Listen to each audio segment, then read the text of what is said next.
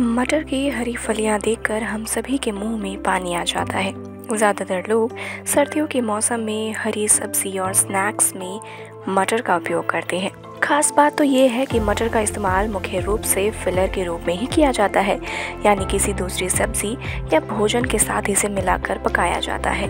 इसलिए ज़्यादातर लोगों को ये भ्रम रहता है कि मटर सिर्फ़ स्वाद बढ़ाने वाली सब्ज़ी है, और इसमें सेहत से जुड़े कोई खास गुण नहीं होते, जबकि ऐसा बिल्कुल नहीं है। जी हाँ क्या आप जानते हैं कि मटर के दाने के अंदर किसी भी तरह की गुठली या बीज नहीं होता है और ये पूरी तरह फाइबर से भरपूर होता है? इतना ही नहीं। आइए आज की वीडियो में जानते हैं कि किन लोगों को सर्दी के मौसम में खासकर मटर का सेवन करना चाहिए।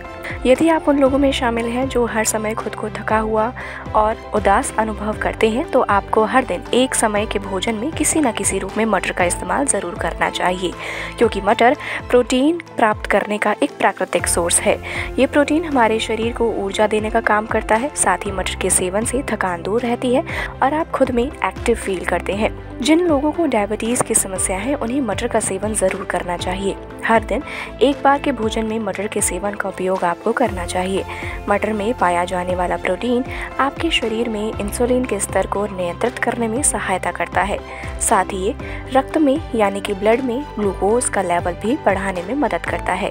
इसे शुगर का लेवल सामान्य बनाए रखने में भी सहायता मिलती है। इतना ही नहीं, यदि आपकी हड्डियाँ कमज़ोर हैं तो आपको भी नियमित रूप से मटर का सेवन ज़रूर करना चाहिए। यहाँ नियमित रूप का तात्पर्य ये है कि आप दिन में एक बार किसी भी समय मटर खा सकते हैं। मटर में विटामिन के पाया जाता है और ये विटामिन हड्डियों का व्यास, यानी कि डेंस बनाए रखने में मदद करता है और उन्हें स्ट्रॉन्ग बनाता है। शरीर में विटामिन के की कमी हो जाए तो हड्डियाँ खोखली होने लगती हैं और ऑस्टोरियोपोरोसिस की समस्या भी हो सकती है। फ़िलहाल इस वीडियो में तहीं और भी ऐसी वीडियोज़ को देखने के लिए आप जुड़े रहिए। बोल्ड स्काई के साथ नमस्कार।